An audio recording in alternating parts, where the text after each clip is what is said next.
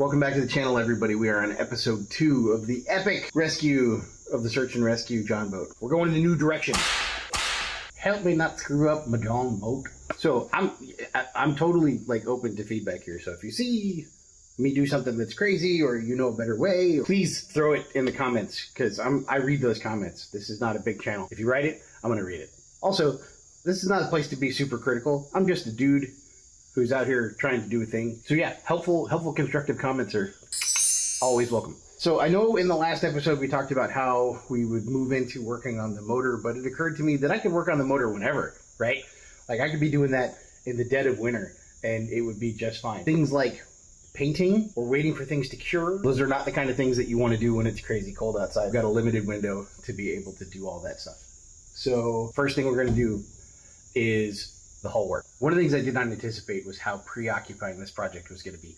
The amount of time that you spend thinking about what to do, how to do it, or even if it needs to be done. Like this hull, like this is in pretty good shape, right? Like, is this painted? I I don't know. Is it just oxidized aluminum? It's got to have some kind of coating on it, right? Is the kind of coating that's on here the thing that's effectively going to stop me from being able to apply whatever product I want to apply? I don't know. The one thing I do know, however, is that I don't want to do it again. This stuff is expensive.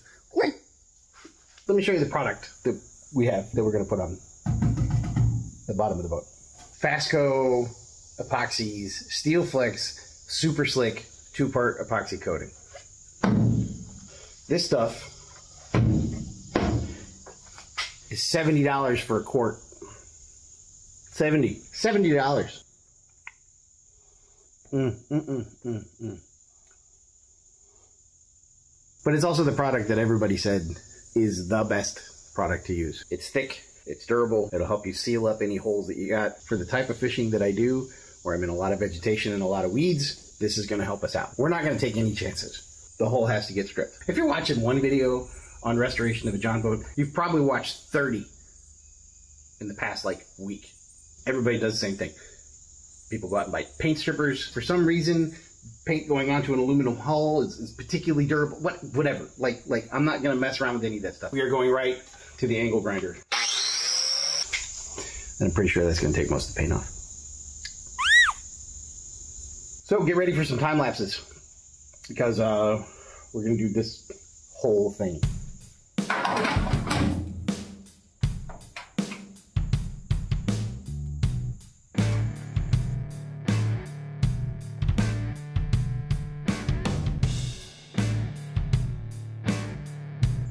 This is going to take a really long time.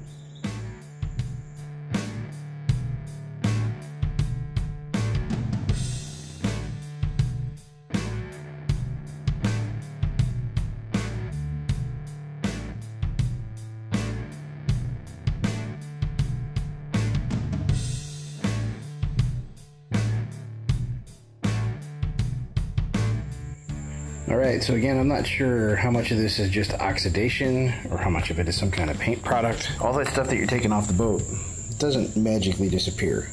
It becomes particulate. Teeny tiny microscopic chunks of aluminum that go everywhere, including onto your shirt, into your beard, right? And onto pretty much anything else that you have around you. So if you're worried about that, make sure you take proper precautions, Tyvek suit, dust barrier, whatever it is that you need to put up. But we're looking pretty clean here. Now this is not gonna help you out when it comes to the bigger dents and creases that you may have in your hull. Like for example here, there's another one here.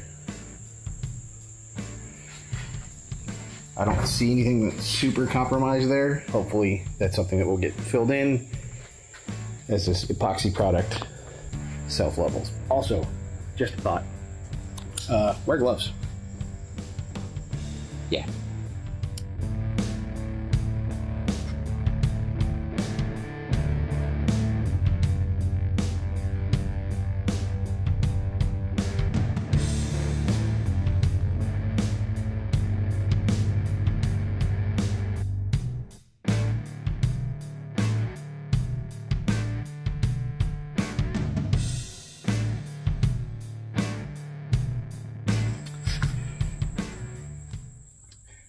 Well, that's one half the boat done.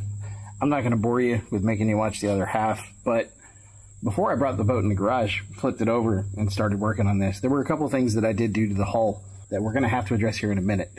Namely, removing the center bench seat so I could have a larger swath of flat floor, uh, and also removing like the oar locks, the handles that you have up towards the front for people to hold on to. Yeah, so there's some holes in the sides of the boat that are going to have to be addressed. We'll get into that shortly, but go check out, see how I did it.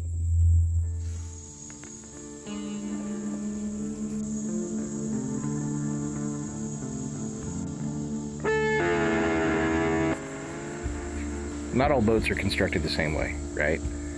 So these structural ribs that you've got here, if they continue underneath the bench seat, which they do,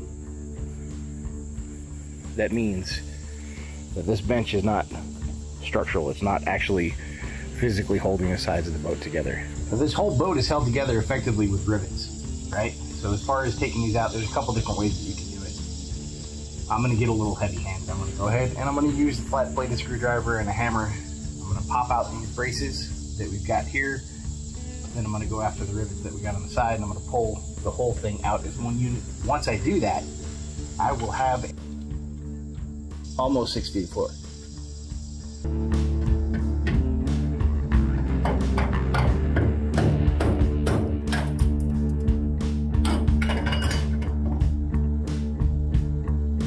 Well, okay.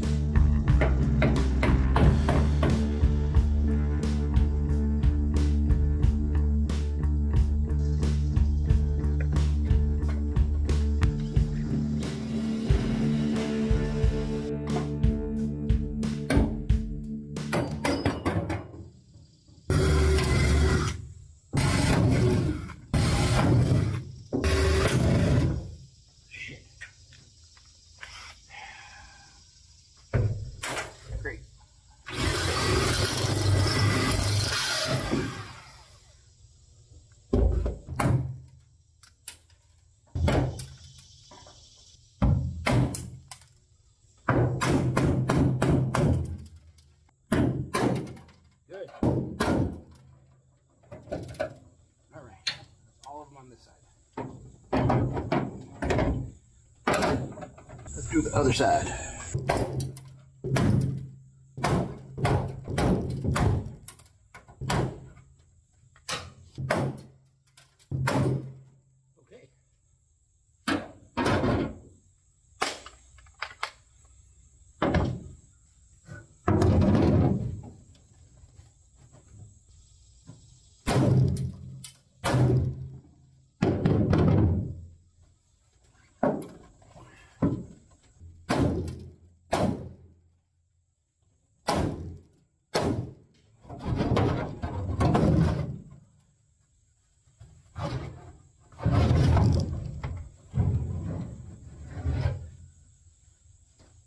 Just a quick note this boat was really well taken care of by somebody.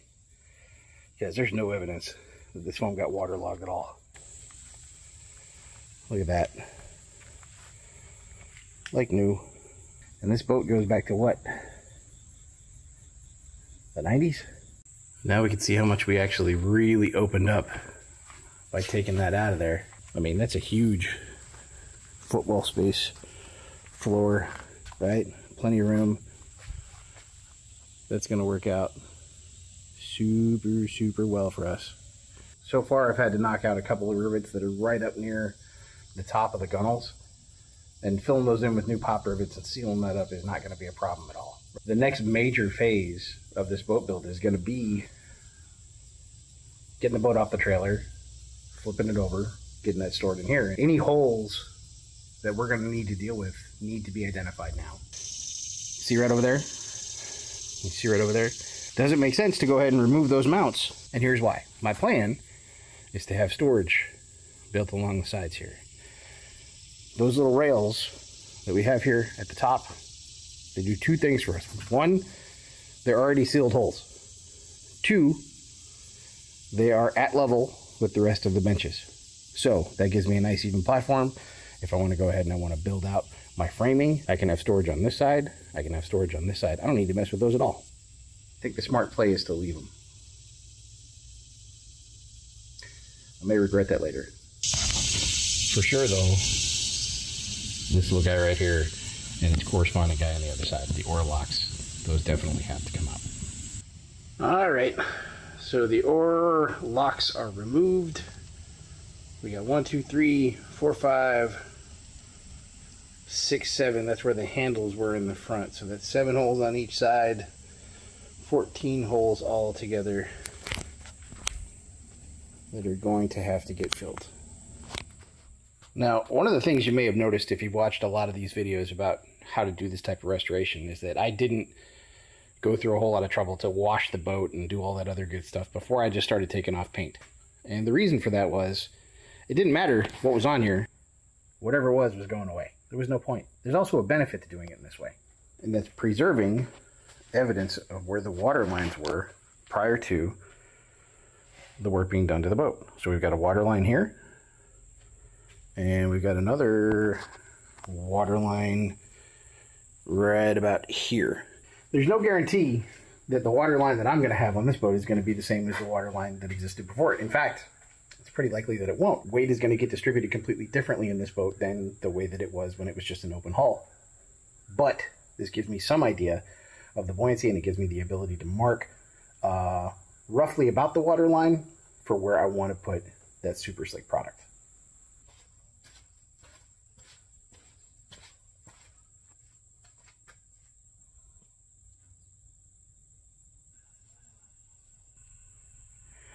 It's pretty simple rudimentary marks there that tell me how far I want that product to come up on the belly. The product container says that one quart is enough to cover approximately 30 square feet. This is a 14 foot boat. So if you do the math on that, 30 square feet is going to be cutting it pretty close. I did happen to go ahead and get two quarts of the product. My plan is to only use exactly what we have to use and nothing more. That means the Super Slick is only going to go up as high on the hull as I feel like it needs to to meet that water line. Well, I'd say it probably took a total of about five hours, but the whole boat is done. Everything has been removed. Whatever that product was that was on the underside, that clear coat, all that's gone. All the paint, all the decals, gone off the back. Everything off of the transom is done as well. There are a couple lessons learned. First is that that braided spoke wheel, that's a really good way to go. It was quick.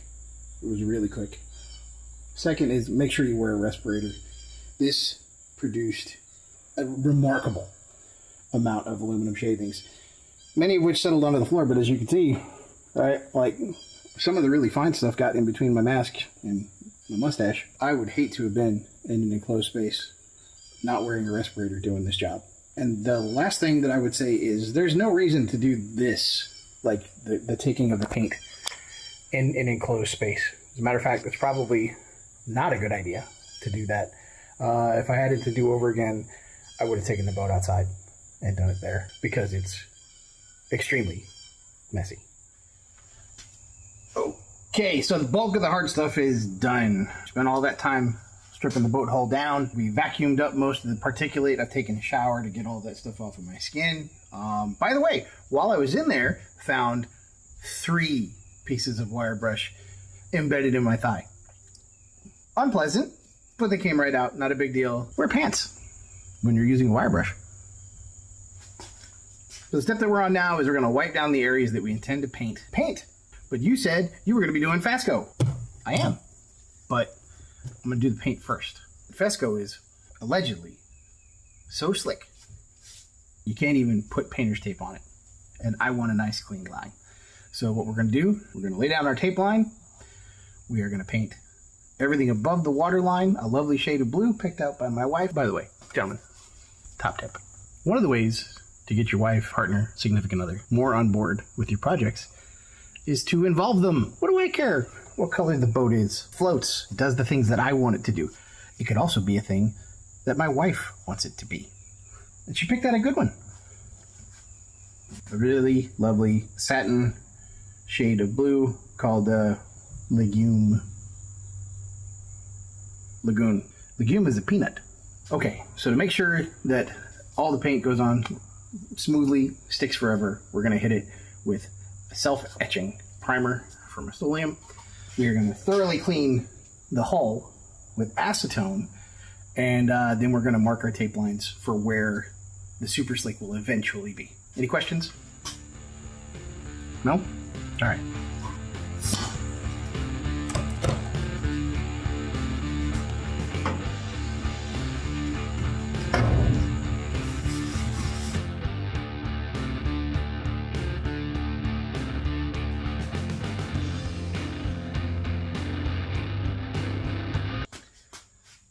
I am an idiot. You probably saw I just got to that one spot on the hull. I haven't filled the holes yet, so let's spend some time talking about exactly how we deal with those holes. Hi. So, uh, yeah, once again, friendly reminder I'm not an expert. Uh, if you ask me if I have ever plugged a hole in a boat before, I'm going to tell you no. At least, not with a rivet. but we're going to give this a shot. Let's take a look at the hole. We're going to drill these holes out one quarter of an inch. Then we're going to stick a rivet in there. I'll just show you. All right. Making these one quarter of an inch in size, exactly. Is that going to go in? That one goes. Is it stuck now? Please don't be stuck. Don't be stuck! Eh. Man, that's snug. That's what she said.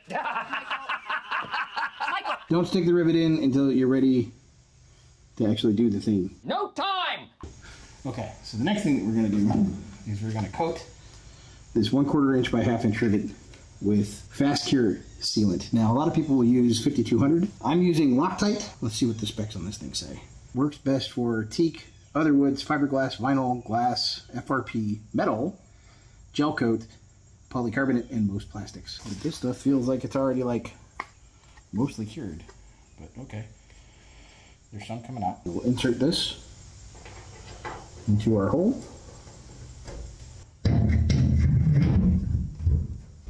Hey, look at that. There we go. And then we will use our super cool air rivet tool.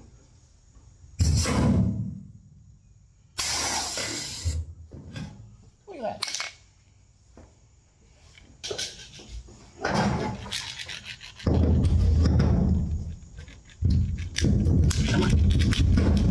Good. Put a little doodad in here, inside the hole. Inside the hole. Give it a little press. And we're gonna let that cure. Now we gotta do the rest of them.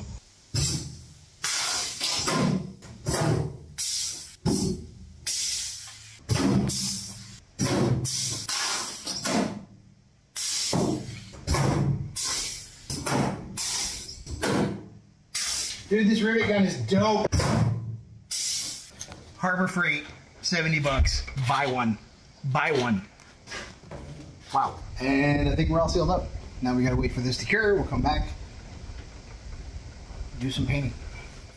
Obviously, it is now much later than it was when we kicked this off. I, uh, everything's curing, the holes are filled, all that other good stuff. But going through and cleaning everything up with this acetone, I mean, it's it's nuts. 50 or so rags that look like this, but we are now at the point where we can start applying primer. You always have to read the instructions, but the print on these things is getting smaller and smaller every year. Just one second. I believe we have what we need to be able to read the fine print. Mm, mm-hmm, yeah, I see what they did here. Clean area to be primed with mineral spirits to remove all grease, oil, wax, and dirt.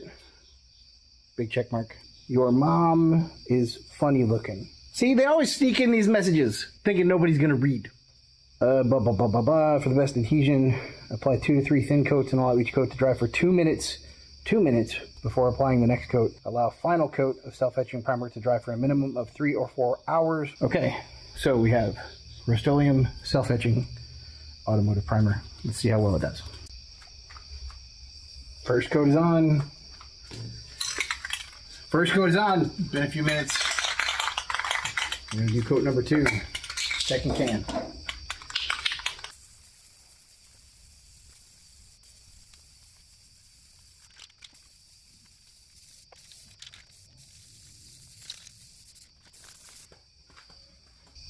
Three coats of primer. We're gonna call it a day. Come back, hit it again tomorrow. Get out of here before we get woozy. Well, it's the next morning and magically the boat is painted. It's blue. Managed to get a pretty clean line all the way around, tracking what I think is going to be the water line. And there's that mark that we had. And it carries on down. Now the next trick is going to be masking all this off, making a nice crisp line here, hopefully not ruining it. We're going to mix up the two-part epoxy, put that on here. Well, we have arrived at what the French refer to as Le Moment de Truth. I think we're ready to address the underbelly of the boat. We are all masked off, and this is why I needed to paint the underbelly first. You see this little, like, millimeter of paint that's coming through right there? Yeah. That's going to be my overlap with the Super Slick. We got a little bit of overspray on the hull. That's okay. I've seen lots of people apply this product directly to old paint, so I'm sure it's fine. It's clean, it's dusted.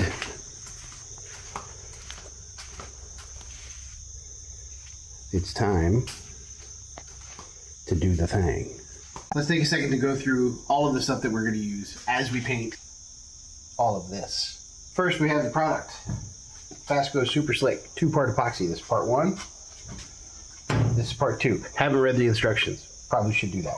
We have pigment. In this case, going with black. Got to buy this separately. We have a mixing bowl. Uh, we are going to do small batches of the epoxy. I've made sure this is all cleaned out. Um, by the way, top tip, don't throw your old food containers away. They're always useful. Keep a box of them in your garage or your workspace. You never know when they're going to come in handy. Paint mixers. This is what you want to use. You don't want bubbles in the epoxy. This is the way to start. A one quarter nap, not foam roller.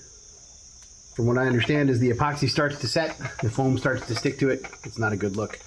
This is what you want to use. Probably spent way too much money on this. We have our roller tray. Last but not least, a scale. This is going to help us make sure that we have the right proportions of the product as we do the thing. Instructions on this product say that we are supposed to mix our pigment, right, with our part two uh, before we do anything. So we're going to go ahead and pop the top on this. We are not going to mix up the whole quart. I don't want to waste any of this product. It is effectively one-to-one, so all we really need to do is remember how much of this stuff we put in. I'm going to give this part two a little bit of a mish. All right. And then we're going to pour in, where are we at here? About half.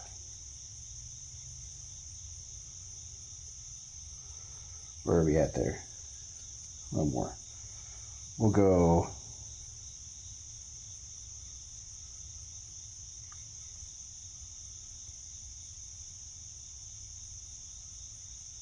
That's 183 grams. Now going to put in our pigment. And we'll hit tear. Okay, that's at zero grams. We're not supposed to put in any more than one ounce. So we need about a half an ounce. This stuff is thick.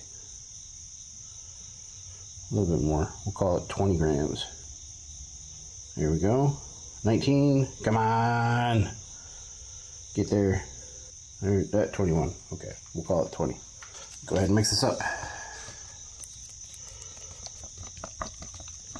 Now, everything I've heard about this particular product, I believe it was uh, Send It John Boats who said, thin for the win. Multiple thin coats as opposed to one big thick gloppy coat. If you do it real thin, then as soon as you get to the end of the boat, you can come back and start right back at the beginning. Come on. All right, part one, 184 grams. Ooh, this one's sealed. Wow. Super clear. Coming out kind of quick. You guys watching that number? Let me know when it stops at 184. No reason to go fast here. Well, coming up on it.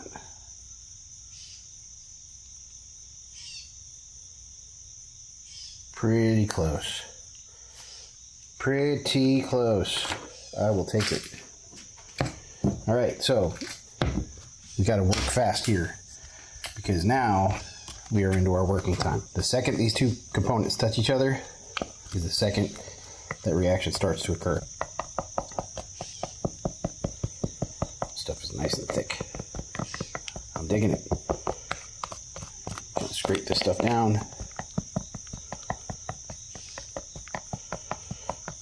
All right, turn this off. Transfer to our container.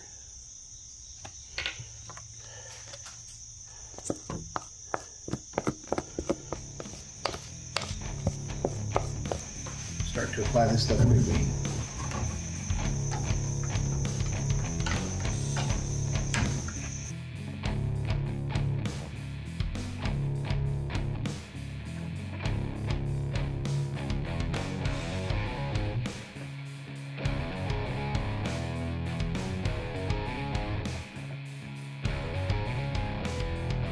So you can see we've used up pretty much all of that first batch and we made it,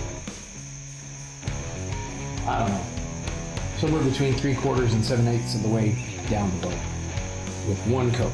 So keep that in mind if you're going to order this product. Uh, one quart supposedly covers 30 square feet. We've used about half a quart. One quart is definitely enough to cover the bottom of a 14 foot jon boat one time.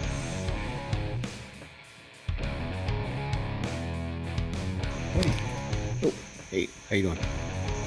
It goes on pretty thick, but not crazy thick. So if you're thinking this is going to be a magic solution for sealing up the bottom of your boat, it's not going to be. Um, unless you went like many, many coats.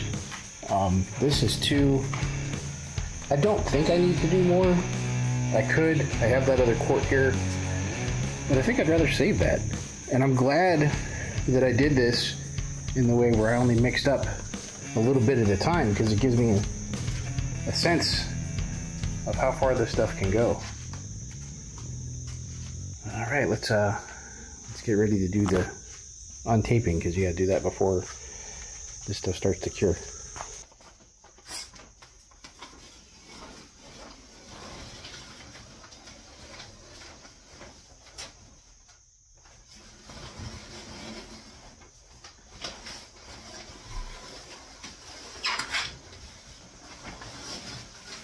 Well, it's not the best I've ever done, but it's serviceable. It'll work.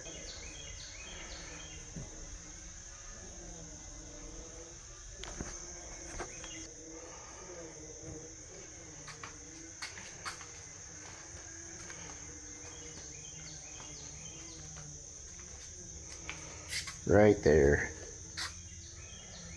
That's irritating. Yeah.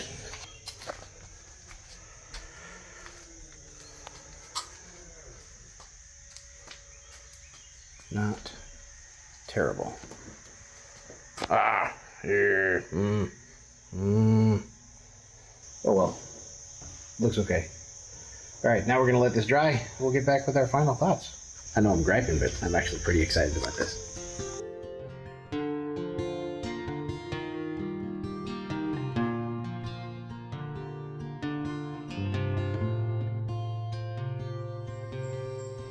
It is pretty late and I gotta work tomorrow. But I wanted to come out and check on this. Ooh. It's been about 12 hours since this was applied. And it feels super slick. Imagine that. All that is filled in nicely. this feels exactly the way I hoped it would. It's not fully cured yet, but I've been wanting to try this. Oh, come on. I wanted it to fall off. Well, I can tell you that I am definitely pleased with what I'm seeing here. I do have another quart of the product that I can apply. Um, not sure if I'm going to. Gonna spend some time thinking about it because I have other things that I kind of like to use that product for. I think it'd be great on the bottom of my kayak. But I think this is gonna work out pretty well. I, I really do. I'm, I'm, I feel good about it. But I'm interested in what you think. Are you in the middle of restoring your own boat? Is it something that you're thinking about doing? Are you making improvements? Is Super Slick a product that you're thinking about trying? Let me know. I want to hear about it. From here, I think the next step is to go ahead and do all of the necessary maintenance stuff to that trailer. Gotta get the lights up and running. Gotta see what we can do as far as getting that thing cleaned up. Gotta wait for this to cure all the way before we do anything involving putting it back on that trailer. But that just means that we've got some time. Thanks for watching. We'll catch you on the next one.